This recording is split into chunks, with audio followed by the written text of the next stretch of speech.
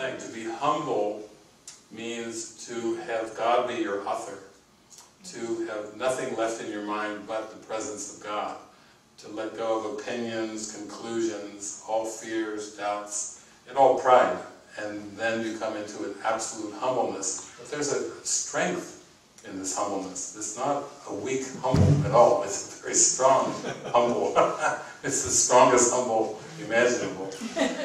So, said the world was backwards and upside down, and what that means is that, as Jesus says in the Course, the real world is not like the world that you perceive, the linear world.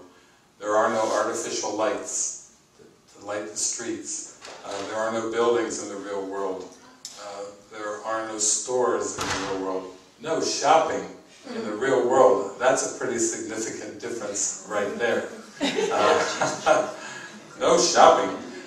Uh, we're talking about the real world is, is the happy dream, it's the forgiven world, it's true perception, it's the borderland that Jesus talks about. And everything that seems valuable in this world is not actually valuable at all. It's kind of like this world is like a house of cards. And when I say this world, I'm using the analogy of linear time. That's really what I mean by this world. And when I talk about the real world, I'm talking about the world perceived from the present moment.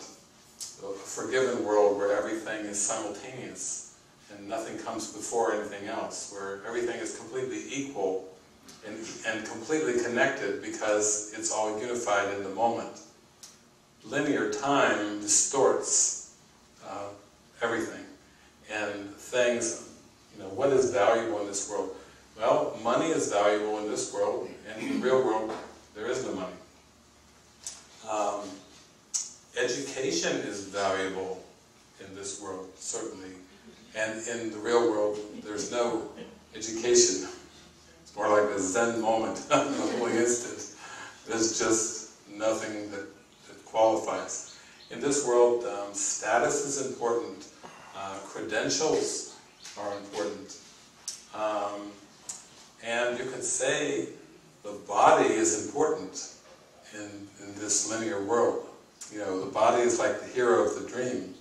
When we watch our fairy tales, you know, what would the fairy tale be without the heroine or the hero? Uh, what would a sporting match be without any heroes? Imagine your favorite basketball teams or football teams and then no importance no heroes. No competition, no winning, no losing, uh, nothing, the, the, body in the, in the real world, its nothingness is very obvious, so there's, there's nothing to improve with it. You don't have to worry in the real world about being fat or skinny, about being young or old, uh, cardiovascular fitness, uh, nothing. Um, uh, you know, your um, uh, all the things that are concerned with the, the body and, and the levels of nutrition and everything that, that is really exemplified and held out in this world is to be epitomized, and to be followed. You know, eating from the five food, food groups and, and having the right foods, and there's a lot of enormous effort and energy is put and thought into these things. You know, there's none of it in the real world. You actually start to contemplate this, you can start to see that when Shakespeare said the world is much ado about nothing, he was speaking of linear time.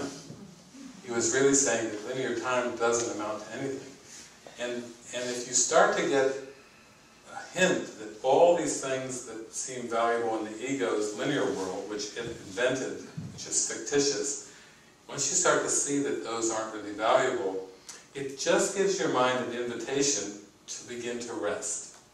Be still and know that I'm God. It's, it's, a, it's, a, it's a leaning inward towards going inward and realizing that you can actually start to devalue or let go of those things. That you're not going to be left behind anybody because there's nobody to be left behind. That you're not going to fall behind in the game because the game's not real. You're not going to die even.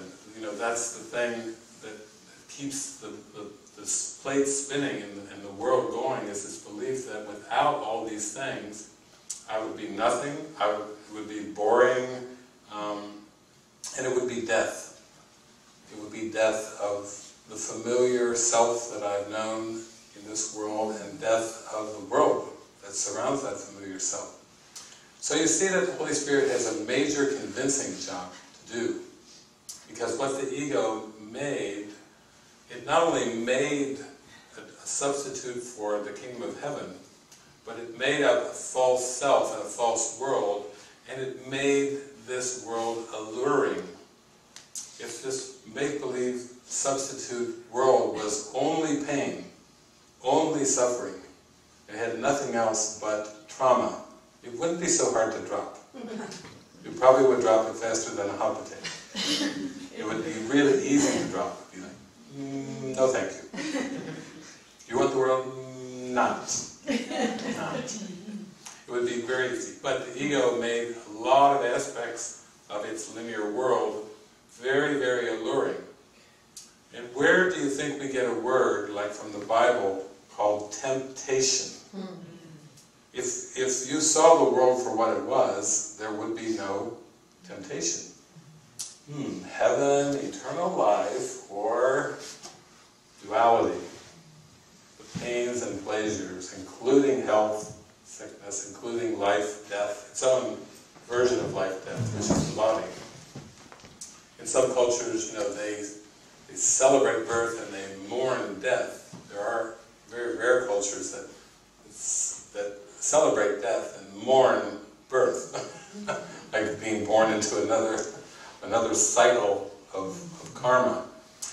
But if you just begin to get this larger context I'm talking about, then your life can kick into high gear of being a miracle worker. Because as you open up to miracles, that's where the miracles are going to take your mind. On the ride of a lifetime, ending up in peace stillness, non-judgment, acceptance, total acceptance, very relaxing. You, know, you can just feel, oh, how relaxing. Let go of the mortal fuss because it's not mortal at all.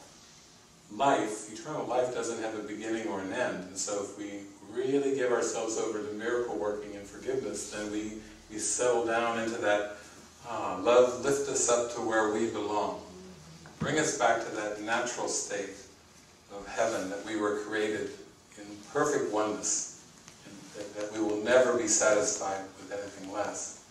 So, for me, you could say that the journey is always for our own awakening, but as the Course says, um, that how many teachers of God does it take to save the world? It just takes one.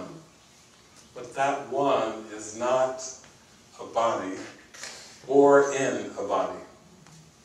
So even very well-meaning Christians who will say, Jesus is my Lord and Savior, if they think of Jesus as a man, or as a body, or as a historical figure, that's not the Savior of the world because in the Course we learn that the Savior is not a body or in a body. It's literally a mind that has accepted its wholeness. And therefore, Jesus, even the historical Jesus, is just a symbol of that mind. Before Abraham was, I am. I and the one, I and the Father are one. That, that's a symbol of that vast acceptance. So even the Course says his little life on earth, you know, was just was not enough to to teach this massive lesson that's really a lesson of resurrected mind. If you just took those brief years on earth of Jesus, it's hard to have perfect oneness. Again, it seems like another little story and parable, and, and even nowadays there are people who, who doubt that Jesus even lived and walked on the earth. When you think, three years out of, out of millenniums to teach perfect divine oneness. It's, it's just like a little skit. And, uh, and some people have forgotten the skit. Some people don't believe the skit ever occurred. And in the ultimate sense, it didn't. Uh, because time and space are, are all part of the ego's delusion. And we have to learn to, in the end, forgive history. We have to accept the present moment so completely and allow it to take us as a gateway back into eternity that we actually are willing to question history, all of history. We're willing to, to say, I'm not going to look to history to find my answers, I'm going to look for that small, still voice within me to lead me to the answer that I am one with God and that I am one with everything. That's a big opening. You know, that that's a whole new context for life on planet Earth.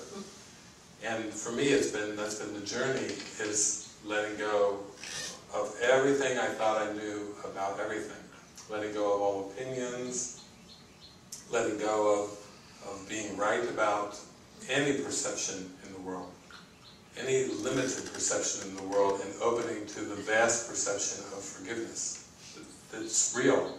It's, you might say it's not real in terms of eternity, but it's the only illusion that leads out of all the others.